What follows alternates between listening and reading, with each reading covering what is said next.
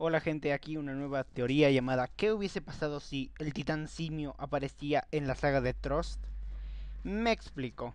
Sí, es extraño que el titán simio haya aparecido justo después de que se hayan atrapado al titán hembra. Así que, ¿qué tal si ocurría mucho antes? Cuando estaban recién graduados. Un día, un día antes de la graduación, Eren, Mikasa y Armin reciben la noticia de que hay titanes dentro de los muros. Así que dentro del muro rosa, los reclutas tendrían que ayudar a una evacuación. Primero van a Tross, donde no ven ningún agujero. La gente parece estar con su rumbo normal en la vida. El cuerpo de exploración canceló la exploración que iban a hacer ese día y se separaron. El escuadrón Mike toma a algunos reclutas entre los que se encuentran Eren y Armin. Mike se separa, encuentra al titán simio Intenta enfrentárselo, pero no. El titán simio habla y Mike es comido. Mientras que por otro lado, pasan la noche en ese castillo.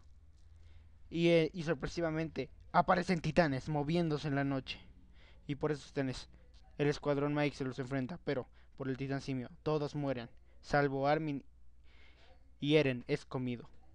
Pero entonces genera su titán y mata a los demás titanes. Después de haber matado a todos los titanes, llega el otro escuadrón.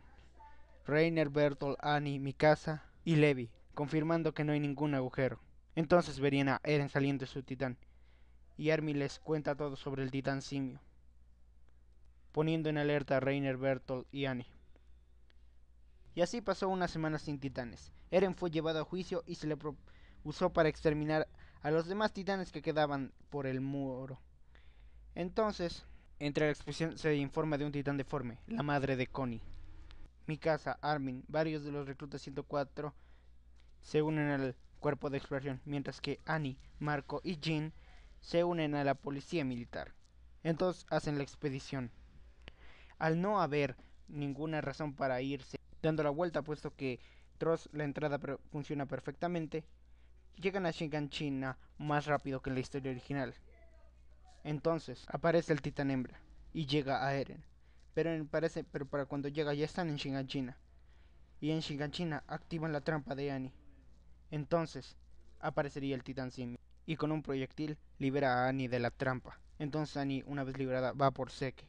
El cuerpo de exploración está dentro de los muros, mientras que Seke y Annie están en Shinganchina.